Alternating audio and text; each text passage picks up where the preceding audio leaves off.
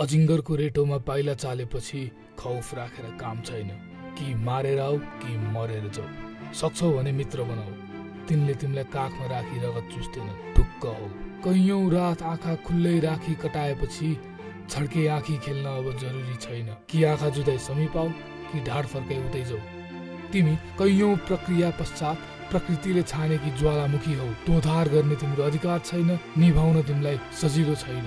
अरूको हतियारले आफूमा धेरै असर पर्न दिइसक्यो। तिनटै हतियारको लेखा जोखा गरिरह्यौ भने आफ्नो अस्त्र कहिले तिखार्छौ कहिले शिकार खेल्छौ कहिले पेट भर्छौ? तिमीलाई लागेका वाँडबाट चुहिएका रगतले तिमीले आफ्नो प्यास मेटिरहेछन् तिमीले यो कहिले सम्झन्छौ?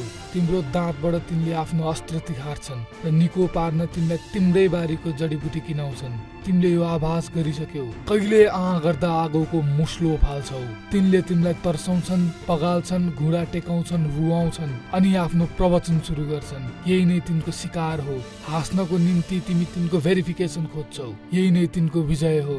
रेटोमा अजिङ्गर देख्नु पहिले नै तिमी गलिसक्यौ र तिमी तिनलाई पुकार्छौ। तिमी कहिलेदेखि आफ्नो अस्त्र तिखार्छौ? कहिले?